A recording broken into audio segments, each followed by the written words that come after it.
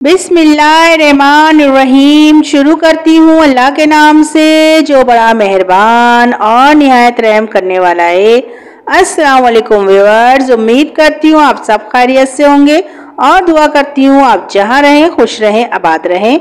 आज हम बना रहे हैं पत्ता गोभी और आलू, इसको लोग बंद गोभी भी कहते हैं। तो चलिए गाय सामान नोट कर लेते हैं। हमें चाहिए गोभी आधा किलो इसको मैंने काट लिया है। आलू हमें चाहिए तीन अदद और इसको मैंने क्यूज में इस तरह काटा है। और आप लोग देख सकते हैं, ये नमक है वन टीस्पून, कुटी मिर्च टू टेबल स्पून हल्दी हाफ़ टी स्पून गरम मसाला हाफ़ टी स्पून और दही मैंने ली है two tablespoon guys skip भी कर सकते हैं। टमाटर एक अदद, प्याज एक अदद छोटी, हरा धनिया थोड़ा सा हरी मिर्च तीन अदद मैंने कट कर लिया है इसको, लहसन, अदरक का पेस्ट वन वन टीस्पून तो चलिए गाइस इसको बनाना स्टार्ट करते हैं।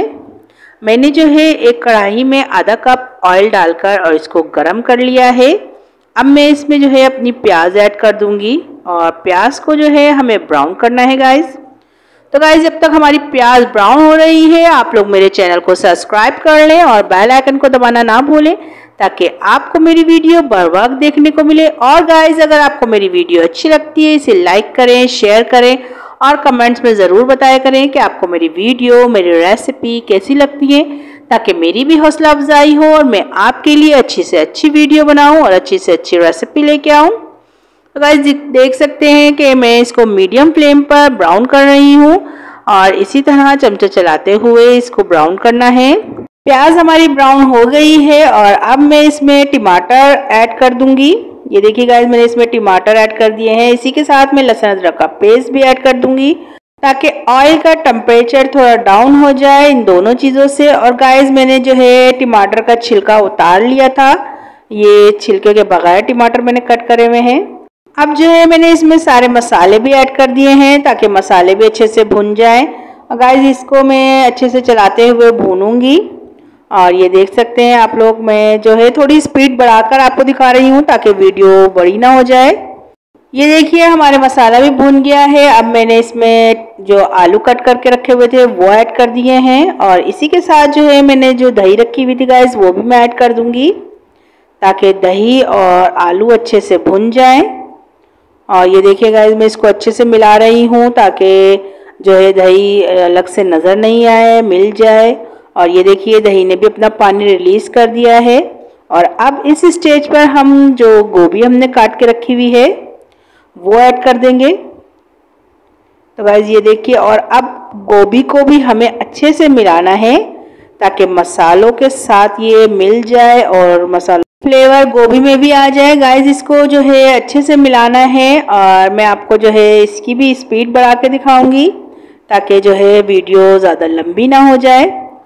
और ये देख सकते हैं आप लोग, मैंने इसको कितने ज़बरदस्त मिला लिया है। और अब जो है, गोभी भी अपना पानी रिलीज़ कर देगी तो इसी में ये पक जाएगी। और हमें जो है, इसमें पानी बिल्कुल भी ऐड नहीं करना है गाइज़ ये देखिए, गोभी ने पानी अपना रिलीज़ करना शुरू कर दिया है।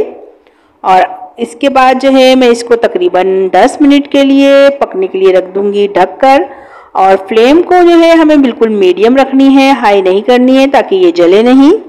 ये देखिए गाइज़ मैंने मीडियम टू लो फ्लेम रखी हुई है और 10 मिनट हो गए थे, आप लोग देख सकते हैं, इसका पानी बिल्कुल खुश्क हो गया है और अब हमें इसको अच्छे से भूनना है, जब तक कि ऑयल नज़र नहीं आने लग जाता।